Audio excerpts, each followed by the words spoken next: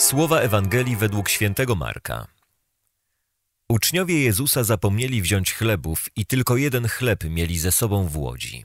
Wtedy Jezus im przykazał: Uważajcie, strzeżcie się kwasu faryzeuszów i kwasu Heroda. Oni zaczęli rozprawiać między sobą o tym, że nie mają chleba. Jezus zauważył to i rzekł im: Czemu rozprawiacie o tym, że nie macie chleba? Jeszcze nie pojmujecie i nie rozumiecie, tak otępiały macie umysł? Macie oczy, a nie widzicie. Macie uszy, a nie słyszycie? Nie pamiętacie, ile zebraliście koszów pełnych ułomków, kiedy połamałem pięć chlebów dla pięciu tysięcy? Odpowiedzieli mu dwanaście.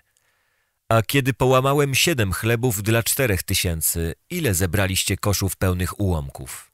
Odpowiedzieli siedem. I rzekł im, jeszcze nie rozumiecie? Dzisiejsza Ewangelia kończy się pytaniem Jezusa zaadresowanym do apostołów. Jeszcze nie rozumiecie.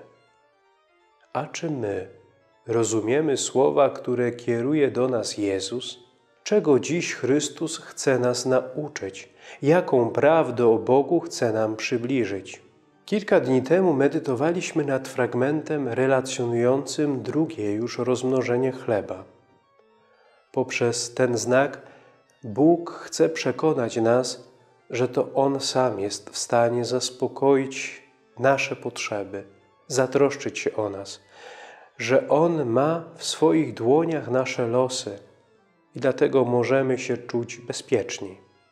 Czy nie szukam różnych form zabezpieczeń poza Bogiem, lekceważąc fakt, że On jest moim Ojcem i to do Niego powinienem się w pierwszej kolejności ze wszystkim zwracać?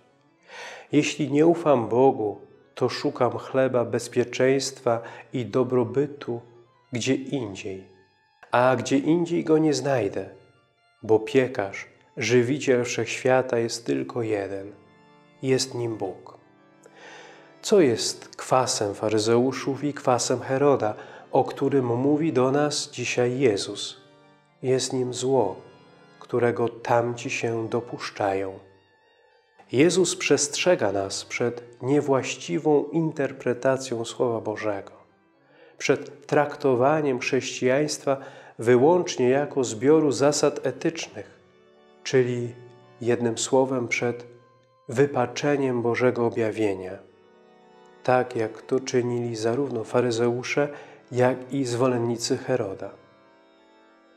Prawem Bożym próbowali wytłumaczyć i usprawiedliwić swoje złe postępowanie. Z takiego kwasu nigdy nie będzie dobrego chleba. Trzymajmy się zawsze mocno Chrystusa i Jego Ewangelii, odczytywanej zawsze uczciwie, zgodnie z intencją autora – abyśmy nigdy nie pobłądzili na manowce herezji.